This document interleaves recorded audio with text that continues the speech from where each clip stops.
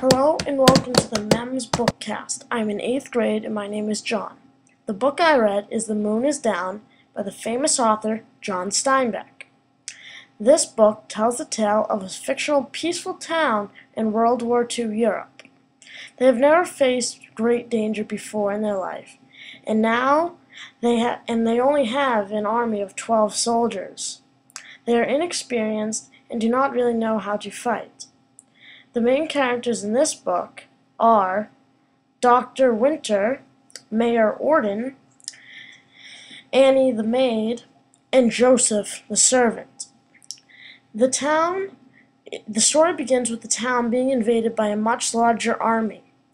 As the, the large army hopes to leave the invaded town by Christmas, but soon they will find out that that there's that there's much more than meets the eye about this small town. The author John Steinbeck is a very wise man. In this story, he tells about how the human instinct in life is to survive and never give up when put down upon. There's many examples of this in the story. This made the story truly inspiring to read. One example of this is by the end of the story, the soldiers realize no matter what they do to these people, they will never, ever strike fear into their hearts, and they will never surrender to them.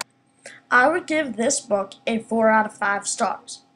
It was very interesting and inspiring to read, but there was no real action, and it took a while to build up suspense. Thank you for listening, and remember, knowledge is power. Keep reading.